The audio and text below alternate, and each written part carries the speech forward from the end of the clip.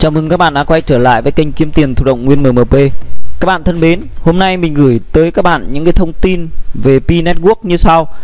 Thứ nhất là ngày lễ hội nghệ thuật Piat.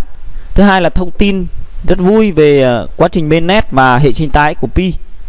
Như các bạn đã biết, 6 giờ 07 phút sáng ngày mùng 7 tháng 7 thì ờ, chúng ta ai cũng nhận được cái thông tin ờ, về P Today và Festival Piat các bạn nhé. Đấy thì các bạn có thể vào cái phần read more để chúng ta đọc thêm. Đó thì à, mình cũng đã dịch các cái thông tin này rồi thì mình sẽ điểm những cái thông tin chính để chúng ta nắm bắt được. Thứ nhất là quy tắc và hướng dẫn của cái ngày lễ hội pi đó thì à, từ mùng 6 tháng 7 đến 19 tháng 7 năm 2022 trên à, hệ sinh thái của à, uh, pi sẽ có cái chuỗi phòng uh, trò chuyện pi và pi today art các bạn nhé thì uh, các bạn có thể vào uh, uh, cái phần uh, P Today app này. Đó, thì chúng ta sẽ có cái phần uh, nội dung của phòng trò chuyện. Đấy đây là cái phòng trò chuyện này uh, về PS này. Thì uh, bạn uh, bấm vào understand. Đấy, tôi đã hiểu và join vào channel nha các bạn nhé. Join vào cái kênh này. Đấy thì các bạn có thể um, trò chuyện gửi ảnh lên. Đấy đây là một số hình ảnh mà uh, người ta gửi lên. Đấy thì các bạn uh, như bạn này rất là vui cắt đầu có cái hình pi này. Đấy nhiều um, hình ảnh rất là vui các bạn nhá. Và uh, có giá trị nghệ thuật hay. Đấy thì các bạn uh, có thể vào đây và tham gia đấy, gửi hình ảnh của mình do mình sáng tác. Đó thì bằng cách là chúng ta tham gia chương trình và gửi những cái tác phẩm mà uh, người tiên phong xác nhận rằng họ sở hữu tất cả các quyền đối với tác phẩm của mình và đồng ý với việc sử dụng hoặc là xuất bản tác phẩm đó uh, cùng Ờ, à, tên người dùng. Đây nó có tên người dùng kèm theo các bạn nhé. Đây này. À, tất cả những người hình ảnh gửi lên là có tên người dùng kèm theo đây. Đấy. À, nó như một cái um, uh, sản phẩm của chúng ta. À, sau này có giá trị thì uh, uh, có thể là uh, sẽ có phần thưởng các bạn nhé. Thì uh, để ngăn chặn cái việc khai thác trái phép nhãn hiệu pi của những kẻ xấu nhằm uh, gây nhầm lẫn lừa đảo các thành viên cộng đồng pi à, điều cần thiết là chúng ta phải sử dụng đúng cách à, xem cái nguyên tắc. Đấy các bạn có thể xem nguyên tắc nhãn hiệu của pi và pi network và cái biểu biểu tượng pi các bạn nhé đó. Thì à, các bạn có thể tham gia để chúng ta à, có những tác phẩm tốt hơn rồi cái phần uh, thứ hai là phần read more. Ờ, trong phần read more này các bạn có thể nắm được nhiều thông tin các bạn này. Đấy về cái tính năng năng gửi lại KC các bạn nhé à, ờ, vừa rồi mình cũng đã hướng dẫn cho một số bạn trong đội nhóm mà uh, thực hiện KC lần một không đạt.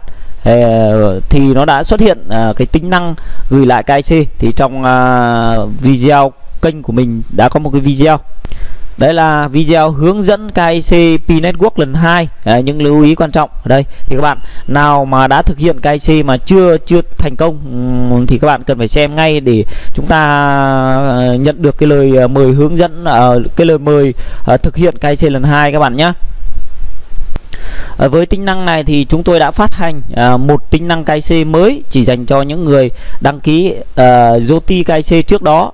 Những người đăng ký KYC uh, ờ, Pilot hoặc là những người khác có một số dữ liệu thiếu nhất định uh, vẫn bị kẹt trong thời gian xử lý uh, kéo dài do những bất cập của hệ thống từ giải pháp KYC trước đó hoặc uh, các phiên bản trước của ứng dụng PKIC Đấy, tính năng này cho phép họ xem xét thêm dữ liệu ở bị thiếu và gửi lại hoặc là gỡ bỏ.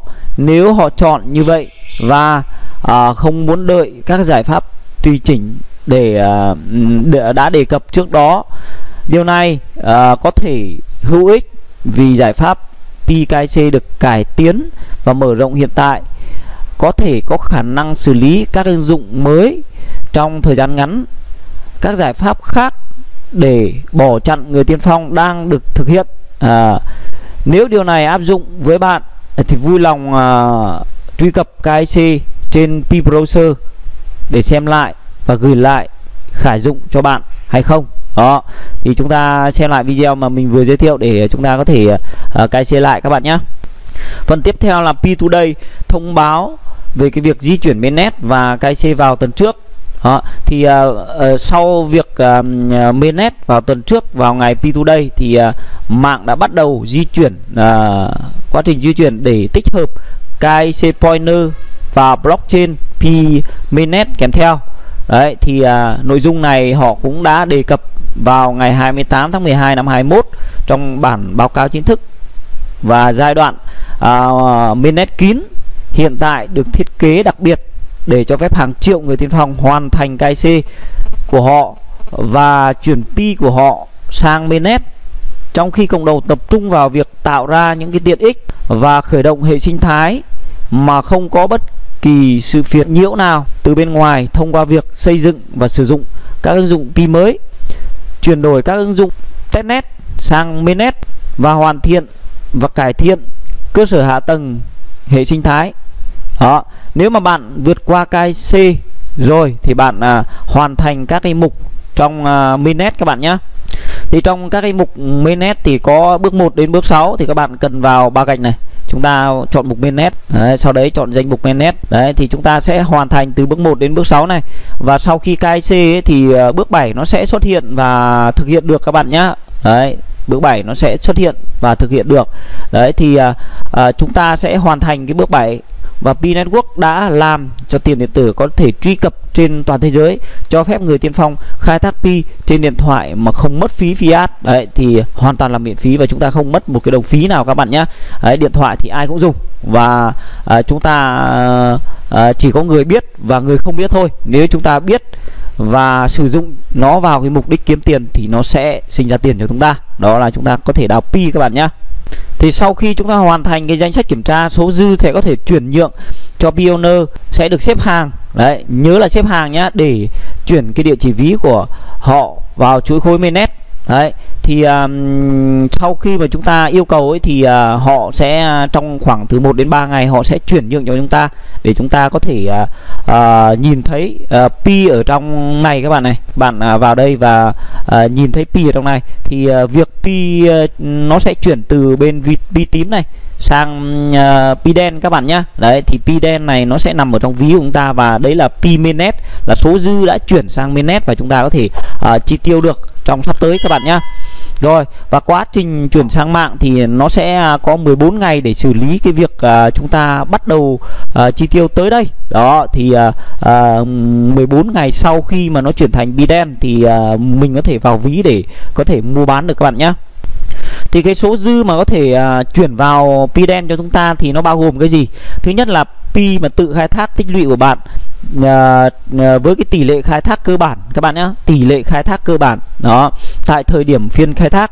Thứ hai là phần thưởng của vòng tròn kết nối bảo mật dành cho những người tiên phong KIC trong vòng uh, kết nối bảo mật của bạn đó. Thế cho nên vòng tròn bảo mật nó cực kỳ quan trọng các bạn nhé nếu như mà những người trong vòng tròn bảo mật uh, của chúng ta mà được KIC rồi thì cái lượng pi nó chuyển về cho chúng ta là nhiều hơn các bạn nhé rồi cái thứ ba là phần thưởng từ việc sử dụng ứng dụng này à, hoặc là nút à, hoặc là khóa pi khai thác thông qua cái phần thưởng của nhóm giới thiệu à, sẽ tạm dừng để à, à, di chuyển vào thời gian này. Bất kỳ à, à, bất kể có ai trong nhóm giới thiệu là KIC hoặc là à, không tức là KIC rồi hoặc là à, không. Nói chung là các phần thưởng của phần giới thiệu được phân bổ cho các thành viên nhóm giới thiệu khác sẽ à, chỉ trở thành số dư chuyển nhượng khi các thành viên tương ứng được KIC đó các bạn à, hình dung được không ạ? Tức là cái bi vàng này của chúng ta ấy, thì nó sẽ chuyển sau các bạn này nó chuyển một cách từ từ này. À, nó phụ thuộc vào quá trình chúng ta à, đồng đội cái c chưa này. Đấy, bạn bè mình mời được ấy cái c chưa này. À, thứ hai nữa là à, thời gian khóa và à, và và vòng tròn bảo mật của chúng ta được cái c chưa đấy. Đấy. Rồi.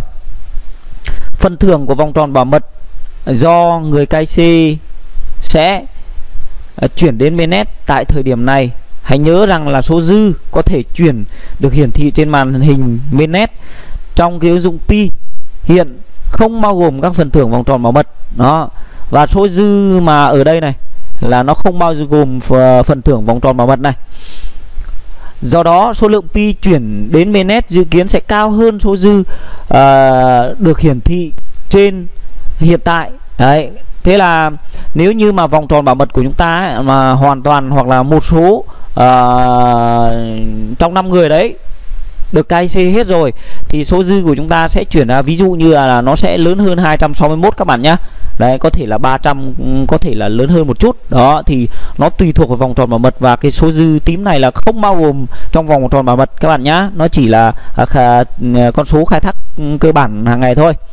Đó cuối cùng phí KIC của một pi sẽ được khấu trừ tức là à, quá trình KIC là chúng ta sẽ phải trả một pi và nó được khấu trừ chuyển nhượng cho cái người à, kiểm duyệt của chúng ta người à, xác xác nhận à, KIC của chúng ta nhé rồi pi mới được khai thác sẽ trải qua quá trình tương tự trở thành số dư chuyển nhượng này. Sẵn sàng cho lần mainnet tiếp theo sẽ diễn ra tự động khi mạng à, kích hoạt à, lần sau đó. Đó có nghĩa rằng à, à, số dư của chúng ta nó sẽ à, chạy thành bi vàng. Đấy sau đấy là à, à, cái phần bí tím nó sẽ là à, phần à, à, khai thác tỷ lệ khai thác cơ bản. Và trong lần à, chuyển mainnet tiếp theo nó sẽ chuyển thành bi đen các bạn nhé. À, nó theo trình tự vàng tím à, đen như thế. Rồi tiếp theo là cái phần à, khóa khóa pi này. Mặc dù pi bị khóa dựa trên các cái cài đặt của Pioneer tỷ lệ phần trăm hoặc là thời lượng sẽ được chuyển sang uh, chuỗi khối mainnet hiển thị trong ví mainnet pointer số pi bị khóa của họ sẽ không thể chuyển nhượng trên blockchain blockchain cho đến khi hết thời gian khóa thời gian khóa do Pioneer đặt bắt đầu vào cuối thời gian chờ xử lý 14 ngày. Đó có nghĩa là nó chuyển hết vào Biden này rồi nha các bạn nhá. Sau 14 ngày thì nó sẽ chuyển cái Biden này vào vào ví này. À tức là à, đúng rồi sau 14 ngày ngày à, kể từ khi mà nó chuyển Biden vào ví ấy thì các bạn có thể khóa lại khóa lại uh, cái tỷ lệ này các bạn nhé đấy thì các bạn có thể khóa tăng lên khóa giảm xuống. Thì uh, lúc đấy uh, cái tỷ lệ khóa này nó mới hiệu dụng được các bạn nhé rồi những người tiên phong có thời gian khóa một năm có thể được chiết khấu tối đa là một tháng. Có nghĩa rằng là các bạn có thể à, được uh, sau một năm nó có thể lùi cho các bạn là trở thành 11 tháng hoặc là 11 tháng 5 ngày hoặc là 11 tháng 10 ngày. Nó ngẫu nhiên các bạn nhé đây này ví dụ đây này. Ví dụ một pioneer đã khóa 100 pi trong một năm thì thời gian khóa thực tế trên blockchain có thể là 11 tháng 15 ngày.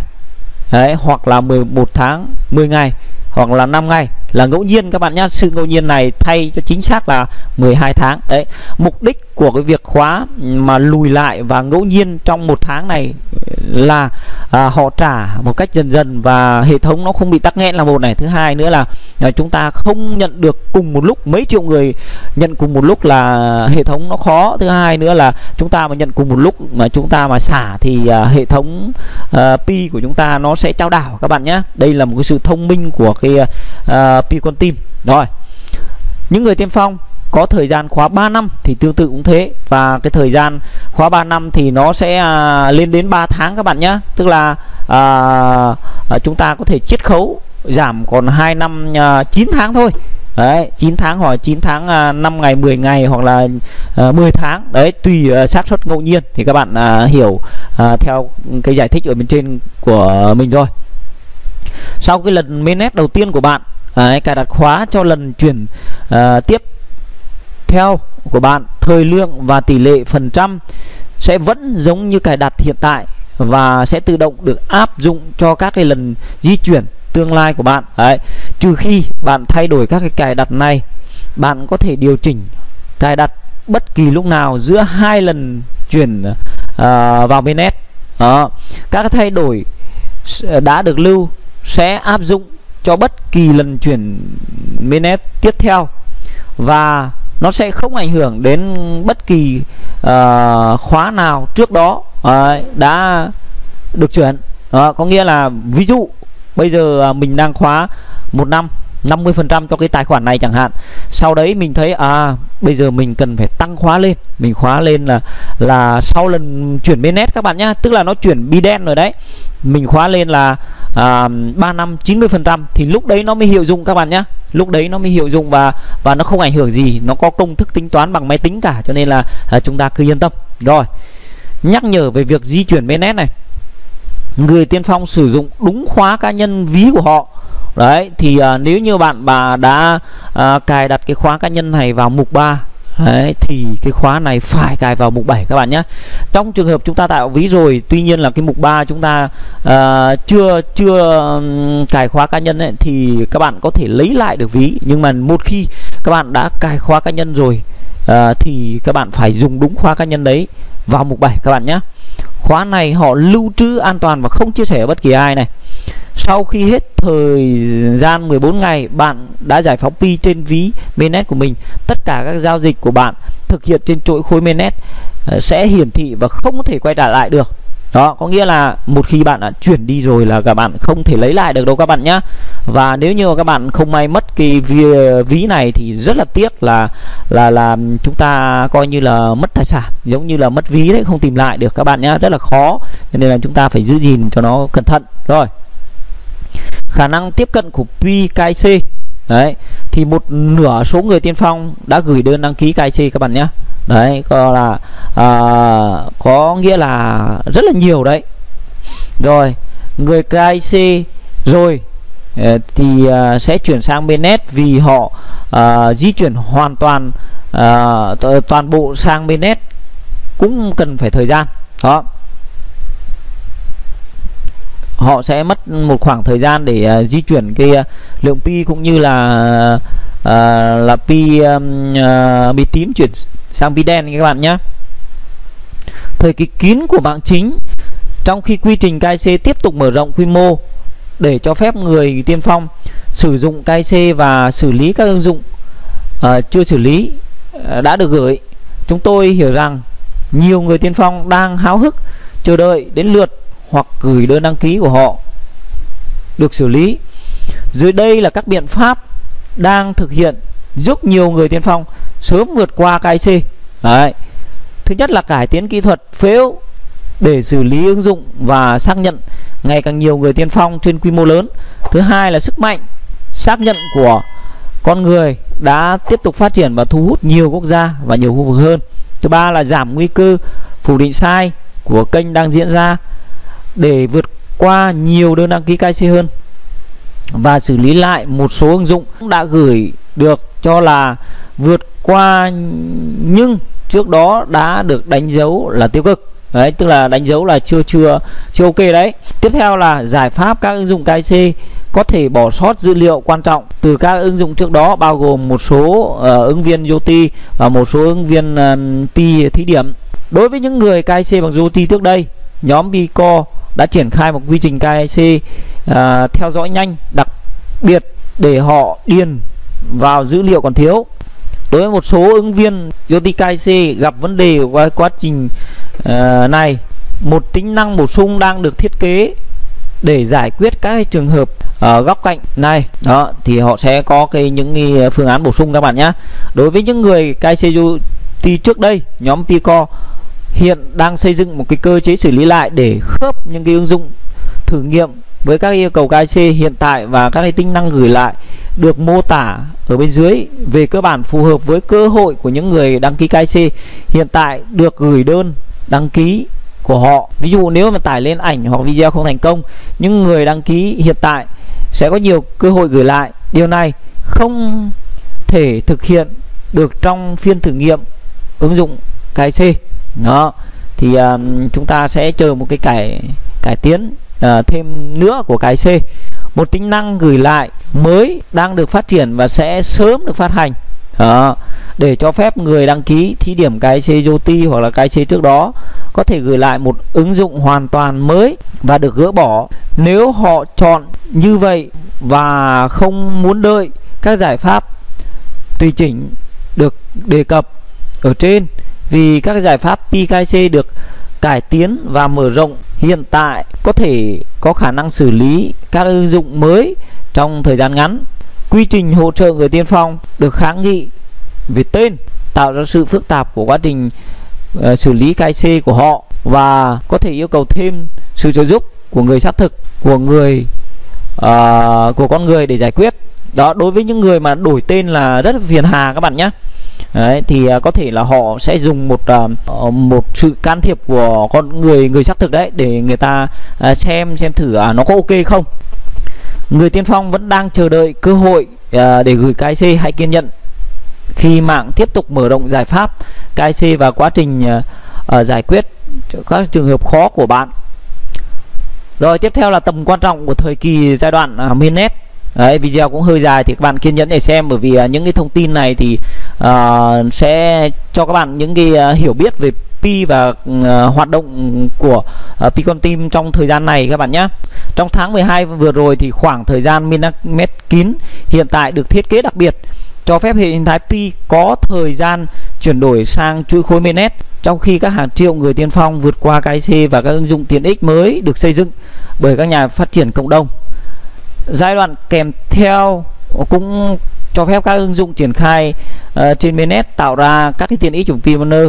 Các ứng dụng Pi sẽ uh, có thể chuyển từ testnet sang mainnet sang chế độ sản xuất uh, cho các cái giao dịch Pi thực đó và tiếp tục là ừ, hackathon tiếp tục các cái chương trình dành cho nhà phát triển khác uh, sẽ được uh, phát hành uh, để huy động khuyến khích cộng đồng ờ, phát triển hơn.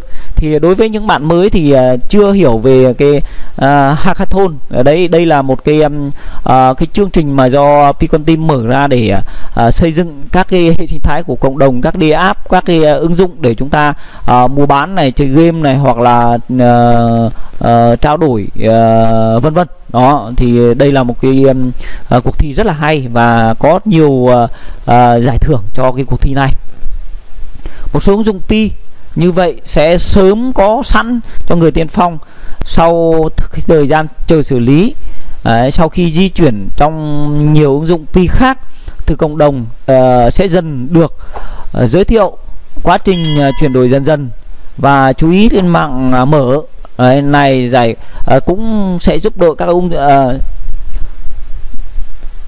quá trình chuyển đổi dần dần và có chú ý đến mạng mở này cũng sẽ giúp các ứng dụng cũng như mạng Pi phát hiện giải quyết các cái vấn đề trục trặc trên thị trường và công nghệ. Đó. Thế thì uh, Pi sẽ uh, thực hiện hai giai đoạn các bạn nhé.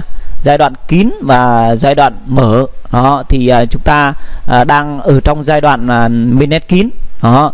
Và chúng ta um, vẫn tiếp tục đào Pi tiếp tục đào pi để ờ, xây dựng cho một hệ ờ, sinh thái của pi mạnh mẽ hơn ờ, hiệu quả hơn và có giá trị hơn các bạn nhé. Thì uh, video hôm nay thì mình xin tạm dừng tại đây. Uh, thông tin với các bạn uh, uh, về một cái nội dung rất là uh, vui như thế. Uh, mình cũng xin dừng uh, video và ừ, chào tạm biệt các bạn.